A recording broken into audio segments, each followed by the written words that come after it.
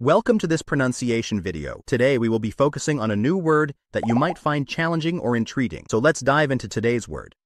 Inspector, which means an official examining something carefully for quality, accuracy, or compliance. Let's say it all together. Inspector. Inspector. Inspector. One more time. Inspector.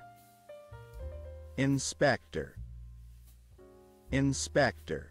Thank you for joining us on this adventure in pronunciation. Remember, language is a journey, not a destination. Keep exploring, experimenting, and expanding your linguistic horizons. We'll see you next time.